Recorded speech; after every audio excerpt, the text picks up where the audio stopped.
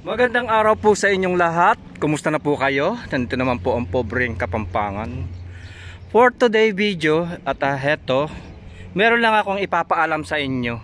Lalong lalo na na nandito sa Saudi at ang mga kababayan natin na hindi nakakaalam sa halaman na ito. Ito ya sinasabi ng iba ay atol, apple of Sodom o yung uh, sa iba naman yung Procera calotropis. Heto guys, alam nyo ba kung ano ang benefits nito? Ay uh, mga gamot, may mga gamot ito guys. Gamot, gamot sa uh, may diabetes o sa may uh, rayuma o mga masakit ang mga tuhod-tuhod. Ito, alam nyo ba guys, yung dahon nito ay uh, ginagawa nilang gamot. At uh, ito, ito na yan, ay napaka poisonous yan. Mag-iingat po kayo kasi ay uh, delikado yan. Pero ito itong uh, dahon niya lagyan siya ng langis o yung uh, mainit-init na uh, lagyan nyo siya ng langis itapal nyo sa inyong mga tuhod o sa inyong mga sa medyas. Sabi nila bababa daw ang inyong mga diabetes o yung kung meron kayong rayuma maalis o yung mga may mga goat dyan Ayan, ito yung uh, Procera calot uh, Procera calotropis at ang bunga niya ayan oh, tingnan niyo.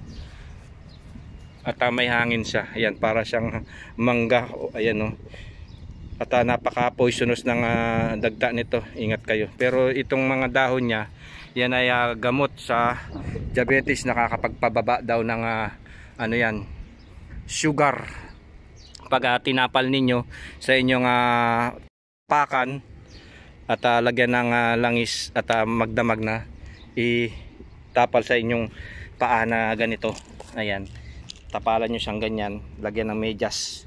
Yan ang uh, halaman na apple of Sodom. O yung uh, katawagan pa sa iba ay uh, Procera calotropis. Ayan. Uh, tignan ninyo ang kanyang uh, uh, ano puno napakalaki na napakatanda na itong uh, uh, Procera, Procera calotropis na yan. Sa mga disyerto marami ito. Sa Indian ay ito ginagawa nila ito na gamot. Ayan nakikita nyo. At ang kanyang bulaklak ay ayun no purple. Purple ayun no bulaklak. Yan ang uh, Proceras Procera calotropis. Ayan sa mga disyerto maraming tumutubo yan kagaya nito ayan o. Lalaki yan. At kahit walang tubig nabubuhay yan sa mga disyerto. Sige guys ayan. Maraming maraming salamat sa panonood. At sana nasyan po kayo ngayon sa binlogs ko. Yan po ang Procera Calotropis enjoy watching. God bless